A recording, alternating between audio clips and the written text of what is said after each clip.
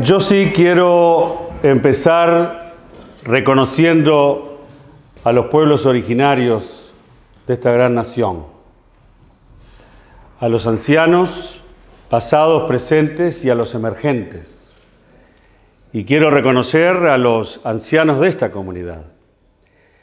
Y nosotros decíamos cuando fuimos electos presidente de esta Asamblea Legislativa que no lo hacía y ajeno a todo protocolo, lo hacía porque creemos, especialmente este grupo, genuinamente, de que tenemos que seguir caminando juntos en este proceso de reconciliación con los pueblos indígenas de este país.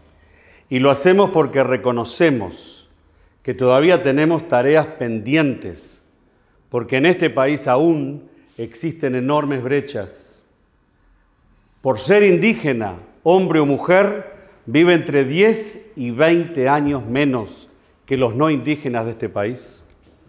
Por ser indígena, contraen enfermedades contagiosas que nadie de nosotros contraemos, especialmente en los países llamados desarrollados.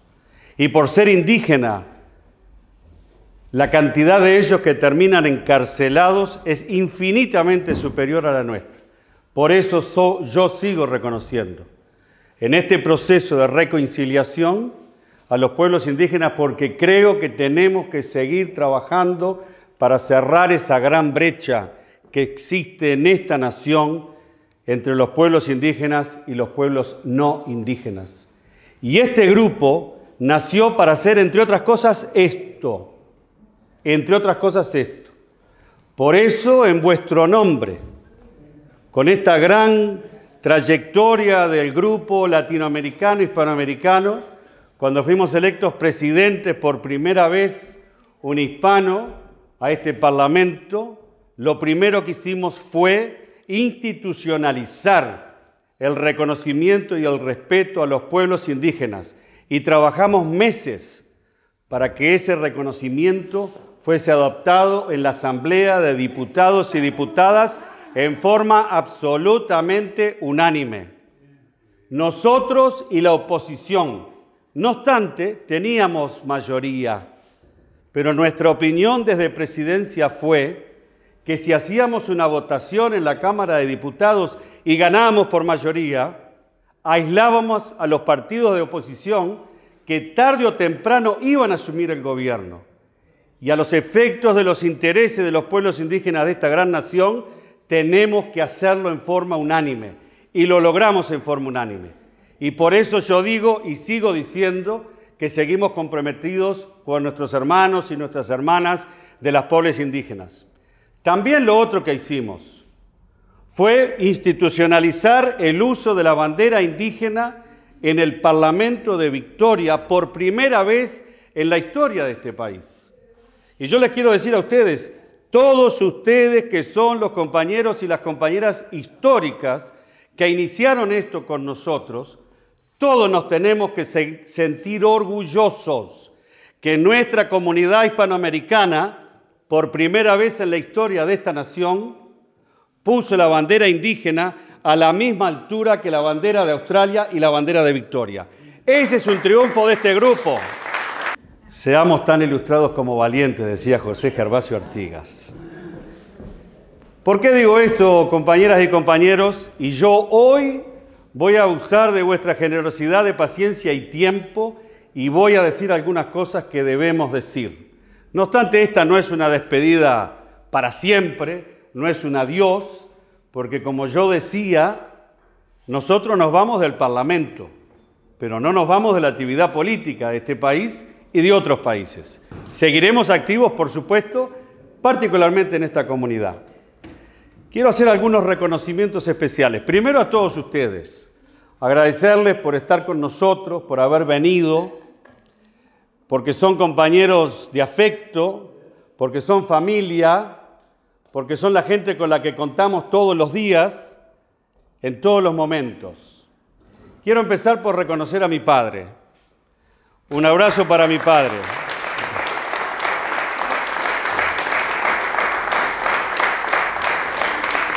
Y hacerle un homenaje a él y a mi madre.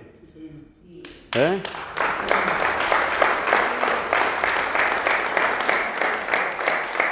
Que en paz descanse junto a todos los compañeros y compañeras que no están hoy con nosotros, y son muchos y muchas, porque ellos empezaron por darme a mí los valores que tengo, bueno o malo, los hago responsables de lo malo, pero bueno o malo, esto nació en Montevideo, principalmente en la calle Charrúa 2017, apartamento 6, donde empezamos a criarnos y a desarrollarnos en esta vida y a caminar y a trabajar y a estudiar.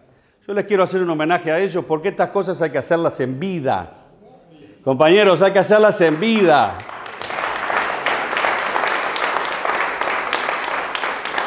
Les quiero decir, yo todavía me acuerdo de la primer pelota de fútbol que me trajo mi viejo de Europa, todavía me acuerdo. Todavía me acuerdo de esa pelota de fútbol que un amigo, que voy a mencionar, el Rafa, el Rafa Bonani, vecino de infancia, la empezó a picar la pelota en el asfalto y en la vereda y casi lo mato. Porque una pelota de fútbol y de cuero picar en aquel entonces en la vereda es mucho, es mucho. Y me acuerdo todavía. Y me acuerdo de mi primer bicicleta que tuve en el Uruguay. En alguna instancia, haciendo entrevistas en Uruguay, me decían, ¿cuál es la diferencia entre ser criados en Australia y ser criados en Uruguay? Les digo, yo me acuerdo de la primer pelota que tuve. Y yo me acuerdo de la primer bicicleta que tuve. Creo que en el Uruguay fue la única. Creo. Y esas cosas yo las valoro hasta el día de hoy. Y cuando nosotros decimos que no hay que olvidarse de dónde venimos, yo me refiero a esas cosas. No hay que olvidarse de dónde venimos en esas cosas. Porque esas son las cosas que nos dan solidaridad. Esas son las cosas que nos dan amistad con los buenos vecinos. Practicarlas particularmente cuando los amigos necesitan.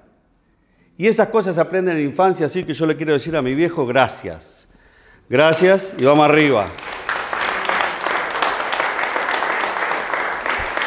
Quiero saludar a mi hermano a Karen y a toda la familia por las mismas razones. Fundamentalmente discutimos y no estamos de acuerdo. Pasa en las mejores familias, pero siempre estamos juntos y nos defendemos cuando es necesario. Así que también para mi hermano, aunque es hincha de Nacional, y yo soy hincha de Peñarol,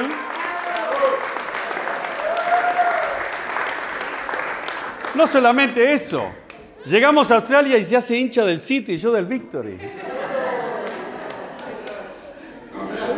Increíble. Y después se cambió. Esto, esto, esto es bien como es el Parlamento nuestro británico. Hay interrupciones, no nos dejamos hablar. Nosotros siempre decimos que el Parlamento australiano es la única audiencia donde siempre tenés adversarios. Igual que en la igual que en la comunidad hispanoamericana. Habemos 10, pero tenemos 11 opiniones. Vamos arriba. Bien. Mi hijo Sebastián, ahí está. Vamos arriba, Sebi. Como decimos en inglés, labio. Gran amigo, gran amigo, un orgullo, mi hijo. Y mi hija Natalia y mi nieta que están en Buenos Aires, quizás mirando, pero si no lo miraron hoy, lo van a ver mañana. Vamos arriba. Yo a él le llamo piojo. Los padres siempre tenemos algunas denominaciones fraternales, pero con orgullo, muy orgulloso de Sebastián. Mis hijos Liam y Simón, también, todos iguales. Luego, Tatiana, para el que no la conoce, Tatiana,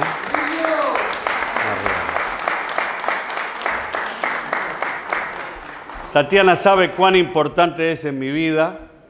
Un amigo me decía hoy a la mañana, a los buenos compañeros y las buenas compañeras, los amigos de toda la vida los conoces en cinco minutos de desgracia y no en diez años de felicidad y de éxitos, entre comillas.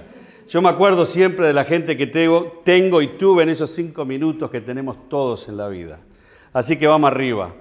Y ustedes saben quiénes son y están acá y Tatiana es una de ellas. Quiero hacer y volver al tema nuestro, que es muy importante, porque todos juntos hemos caminado un gran proceso que se inició en algún lado.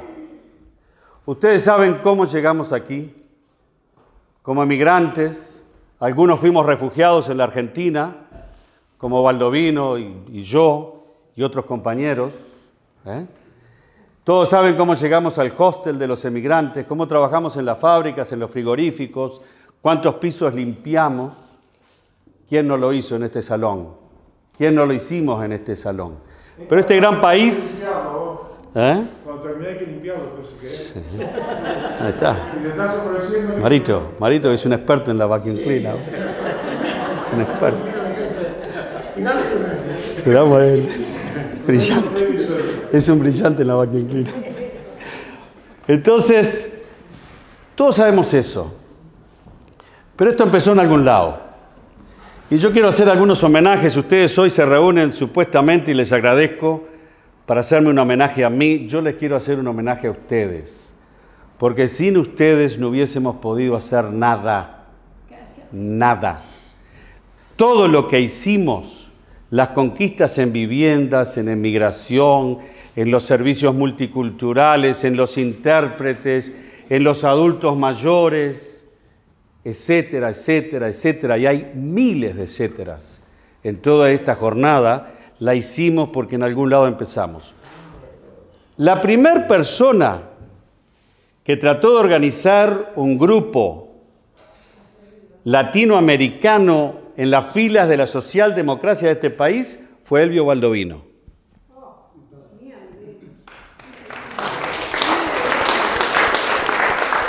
¿Eh? Él fue el primero. Y eso fue algo importante, fue esa semilla que de pronto en ese momento no pudo crecer. Y yo hoy quiero remitirme particularmente a un par de compañeros que son históricos. Yo quiero decir, ustedes lo saben, nosotros no hubiésemos podido hacer 20 años de parlamento y llegar a presidencia sin el negro Baldovino. ¿Ah? sin él, y empezamos en esto juntos, no hubiésemos podido hacer todo lo que hicimos. No hubiésemos podido mantener nuestras causas latinoamericanas y nuestros argumentos en esta institución. No lo hubiésemos podido haber hecho. Estoy hablando a nivel de los compañeros que han dirigido este proyecto. Y sin todos ustedes, y los puedo mencionar a uno por uno, y los que hoy no están con nosotros, y a ellos les rindo homenaje y respeto, a todos y a todas. no hubiésemos podido hacer esto. ¿Para qué entramos nosotros en este proyecto? Para defender a los servicios de los adultos mayores, para que tengan intérpretes, para que puedan pedir un médico o una doctora si son mujeres y que hablen español. Y lo logramos mayoritariamente. Para institucionalizar el uso de intérpretes en todos los servicios del Estado. Y lo logramos para tener funcionarios y funcionarias de habla hispana en las municipalidades cuando hay que llevarle la comida a los adultos mayores en su lengua, en una sociedad multicultural. Y no es perfecto el sistema, pero lo argumentamos con pasión en el Parlamento y en todas las reuniones que tuvimos con los ministros y ministras para que eso se multiplique en todo el estado de Victoria para defender los derechos de los trabajadores, como se defendían en los años 70 y 80, ya que estamos con el amigo Castillo. En el metalúrgico, tantos compañeros trabajaron en el gremio metalúrgico, ¿eh? defendiendo el salario, defendiendo las condiciones,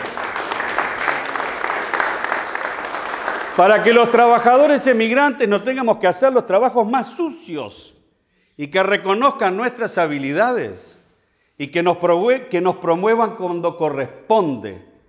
Y para terminar con la discriminación, y todavía tenemos mucho que hacer, aunque yo creo que este es uno de los mejores países. El otro día escuchaba a Nelson Mandela, y Mandela dice, o decía, terminamos institucionalmente con el apartheid, pero tenemos que sacarnos un poquitito el apartheid que tenemos adentro del alma y adentro del corazón, ¿o no? Acá nos estamos quejando por mil africanos que están llegando.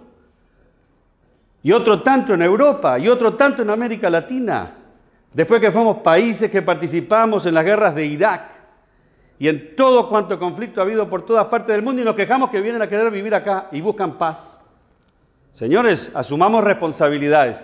Y esto que hoy decimos, lo dijimos y lo argumentamos una y otra vez adentro del Parlamento, en vuestro nombre, porque estamos convencidos que teníamos que hacer esto dentro del Parlamento, porque nosotros no vinimos ni a la vida ni a esta gestión a hacer la plancha, como decimos en Uruguay.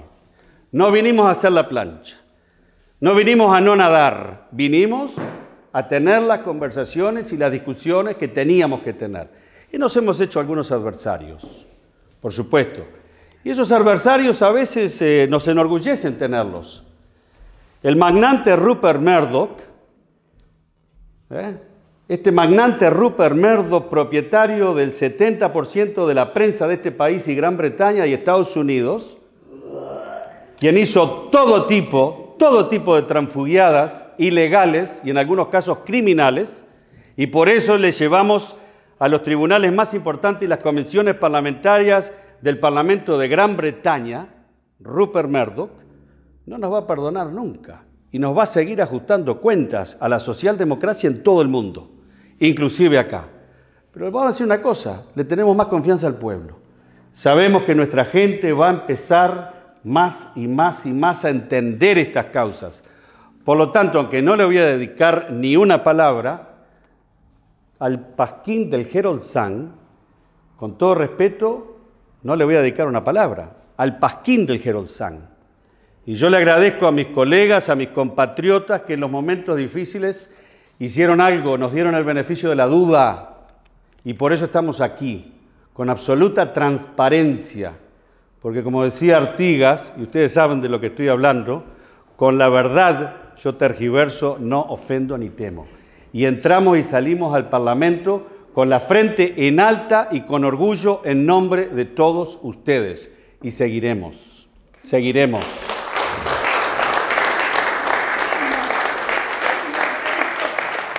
Voy a concluir, voy a concluir porque obviamente algo que aprendí en vida pública. Agradezco todo el bien que nos hizo. No hay que interponerse entre el postre y los compañeros y las compañeras. Pero les quiero decir algo que sí es muy importante y valioso para mí y para nosotros. Educación. El factor educación. El factor educación para nosotros es fundamental. Nosotros somos emigrantes que venimos de países de no habla hispana. Venimos de España, a quien dicho sea de paso quiero reconocer, y particularmente a nuestros amigos que vienen de España llegados anoche. Bienvenidos. Bienvenidos. Y lo digo de corazón y ustedes saben, a la generosidad que ha tenido el pueblo español con todos los latinoamericanos que tuvimos que hacer exilio en España. Gracias. Gracias. Muy importante, muy importante. ¿Eh? Muy importante. Así que les quiero reconocer. Como también quiero aprovechar a decir, también quiero aprovechar a, a decir que yo aprecio mucho que España, que Relaciones Exteriores de España, que el embajador, que su cónsul general, que el palacio, que el rey Felipe VI, no obstante la controversia que enfrentamos en momentos difíciles en este país, después que se clarificó todo, España tomó la decisión de condecorarnos. Y yo que soy republicano lo acepto con mucho respeto. Y esto que llevo acá lo llevo con orgullo y de corazón, porque he tenido buenos amigos en España, tengo buenos amigos en España. Así que a ustedes les doy esa bienvenida con ese pequeño mensaje. Muchas gracias. Y a los españoles que tengo por ahí. ¿eh? A los que tengo por ahí. Les quiero decir lo siguiente y quiero concluir con esto porque esto sigue siendo un mandato y un legado nuestro. Nosotros que venimos a este país y que nosotros no somos de habla hispana o de habla inglesa, si algo debemos seguir inculcando es el compromiso con la formación, con la educación, con la escuela. Ese es nuestro camino, la integración y la participación plena en esta sociedad. Es una gran lucha, como sabemos nosotros, los que vinimos acá los 18 o 20 años. Pero yo sé que todos ustedes Han tratado de hacer con sus hijos y con sus nietos todo lo posible para darles la mejor educación y la mejor formación, para que puedan participar, para que puedan ser mejores y más felices, para que aporten con su talento a este gran país que nos dio una gran oportunidad y donde disfrutamos plenamente esta sociedad multicultural. Y no olvidarnos jamás de Nelson Mandela. Jamás olvidarnos de Nelson Mandela. Cuando sale de Robben Island, la isla donde estuvo preso tantas décadas, dijo que la educación era el arma más poderosa que le podíamos dar a un joven o a una joven para transformar sus vidas, para transformar su familia, para transformar su comunidad y sin dudas para transformar su nación. Y por eso yo les digo, tenemos que seguir luchando para que todas las familias, los nuevos emigrantes, los nuevos refugiados que vienen de Sudán, que vienen de Etiopía, que vienen de Eritrea, que vienen de Siria, que vienen de Afganistán, de Irak, donde estamos y tenemos responsabilidades políticas de esos conflictos, tenemos que seguir siendo generosos, tenemos que sacarnos ese pequeño apartheid que decía Mandela que tenemos adentro y tratar de recibirlos con solidaridad y tratar de recibirlos con generosidad. Yo les quiero decir, les quiero decir de que estoy orgulloso de concluir este periodo de 20 años de parlamento. Estoy orgulloso de haber sido en el nombre de todos ustedes presidente de la Cámara de Legisladores, de haber institucionalizado la lengua de García Lorca, de Márquez, de Benedetti en el Parlamento, de haber hablado mi primer discurso en inglés y en español y habiendo hecho lo mismo cuando fuimos electos presidentes, en español y en inglés, en las dos lenguas. Y nos fuimos de la misma manera. Y yo les puedo decir esto, es el único otro idioma que está absolutamente institucionalizado en el Parlamento. No hay otro idioma que se haya usado tanto como lo usamos nosotros. Y eso es muy importante en una sociedad multicultural, en una sociedad de diversidad lingüística, cultural, religiosa. Así que les agradezco enormemente todo lo que hicimos juntos. Podríamos, y seguramente en otro momento lo haremos, y ustedes saben que hay una enorme cantidad de historias que podemos contar. Si ustedes me permiten, hay una comunidad especial a la que quiero agradecer, que es la comunidad uruguaya. Porque la comunidad uruguaya nos ha apoyado mucho. Me han dado cultura, me han dado valores, me han dado códigos, las conversaciones, nos han dado los códigos de la calle que son tan importantes, también en la vida pública y en la vida política. Y a ellos particularmente les quiero agradecer y sé que están aquí con nosotros. Y yo les pido para ellos, para los compatriotas uruguayos, un aplauso.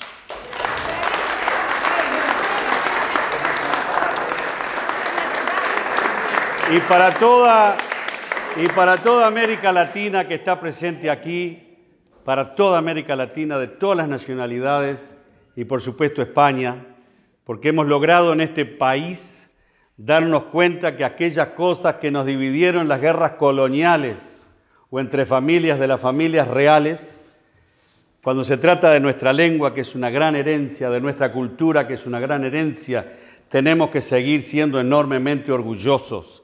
A mí me da enorme placer pensar que mi hijo Sebastián puede leer Cervantes y puede leer el Quijote en su lengua materna, habiendo nacido acá. A mí eso me da orgullo, esa posibilidad de poder leer a Cervantes en nuestra maravillosa lengua. Y ese es el triunfo de nosotros como padres, pero es el triunfo de, de, la crianza que les dimos, metidos adentro de los clubes sociales, metidos adentro del fútbol, en el club uruguayo, en el argentino, el chileno, el salvadoreño, el español. Por eso es que tenemos generaciones bilingües y biculturales que para nosotros es un gran triunfo. Yo no creo que haya cosa más linda que poder darle un abuelo, una abuela, un nieto que hable español. Y no siempre es posible, pero creo que es una cosa muy linda. Así que yo les digo gracias por lo que organizaron hoy, gracias a mi familia por haber estado aquí, la que está presente en este país. Saludos a los amigos y a mi familia que no están en este país, que sé que en algún momento nos van a ver. Y les quiero recordar lo siguiente. No se van a sacar de encima de Telmo Languiller tan fácilmente. ¿Eh? Vamos a seguir. Vamos a seguir. Un abrazo y felicidad. Cuando, cuando improvisamos siempre corremos el riesgo de olvidarnos. Yo querría mencionarlos y tengo anécdotas con cada uno de ustedes personalmente. Y en algún momento las vamos a contar. En algún momento vamos a contar las anécdotas que se pueden contar. Porque hay algunas que no se pueden contar. Pero las que se pueden contar quizás las vamos a cortar. Pero quiero decirles lo siguiente. Baldovino y yo, si me permiten, que fuimos fundadores de este gran colectivo y esta gran corriente adentro de este partido, yo les quiero decir que este colectivo va a seguir funcionando y que lo dejamos en buenas manos. Lo dejamos en buenas manos porque tenemos compañeros y compañeras y queremos más compañeros y compañeras de la nueva generación que tendrán que continuar este trabajo. Walter, vamos arriba, como decimos en Uruguay. ¿Eh? Walter. Gerson, arriba. César está por ahí, va a reaparecer. Tenemos aquí a mi Valerina, Valeria, que me ha ayudado enormemente en los últimos tiempos. Carlitos, Carlos, bueno, no sé si te puedo decir que sos de la nueva generación porque te estoy, pero no importa. Vamos a mezclar todas las generaciones, pero muy en serio, aquí los compañeros jóvenes y las compañeras seguirán esta importante lucha y nosotros desde atrás, nosotros desde atrás, apoyando. No los vamos a mandar a la guerra con la foto de la escopeta, les vamos a seguir apoyando en serio, esto es un compromiso porque este proyecto debe continuar este, y tenemos muchas cosas por las que tenemos y vale la pena seguir luchando.